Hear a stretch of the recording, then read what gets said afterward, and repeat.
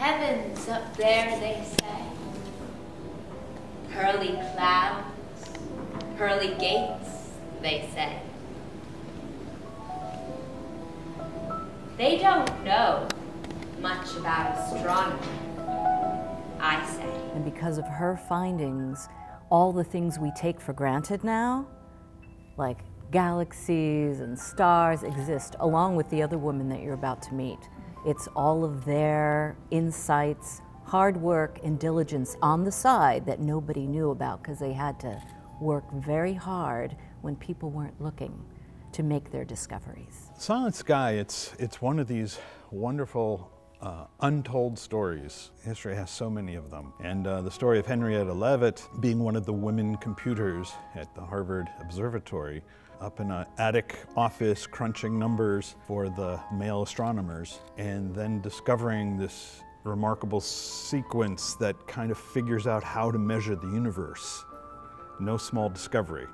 And in fact, that's a discovery that blew the lid off of astronomy. However, she was working for men, and the men kind of absorbed that information and took credit for it. You might find her story in a footnote or in the sidebar of a, of a textbook, but that's just about it. When she, in fact, the Hubble telescope would never have happened if it weren't for her discoveries. All of these women, Wilhelmina Fleming, Annie Jump Cannon, Henrietta Leavitt, those should be names we hear just as easily as Einstein, Newton, Galileo. I, I, hope the, the audience is inspired by the story, but then also just reminded that 50 years ago, 100 years ago, today, we're still doing the same struggles. So it's, it's as alive today as it was then. It's not just about the astronomy, it's about the struggle to find your passion. And truly, so many groups, whether it's women or a particular country, trying to get equal rights mm. and a voice and just be allowed to use all their gifts and to be celebrated for using their gifts as opposed to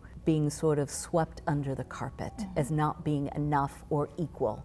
So sadly, it is still so relevant. Mm. I think this is definitely an all ages play. The story is pretty straightforward. You know, you can be a complete novice for science, and, and, and get what's, what they're talking about. It's about the, the characters and their story and their relations. Uh, there's a lot of humor to it. It's like a, a space travel theme park ride at times too. So I mean, if you're 10 years old, something like this might actually blow the lid off your curiosity either about astronomy or about the theater because theater is a very magical place and we're gonna, we're gonna give you some magic. You will fall in love with these women yes. as much as we have. Yes. Absolutely. So we hope you'll join us soon. You've got many performances to come to, 150 of you at a time with bring all your best friends. we can't wait to see you.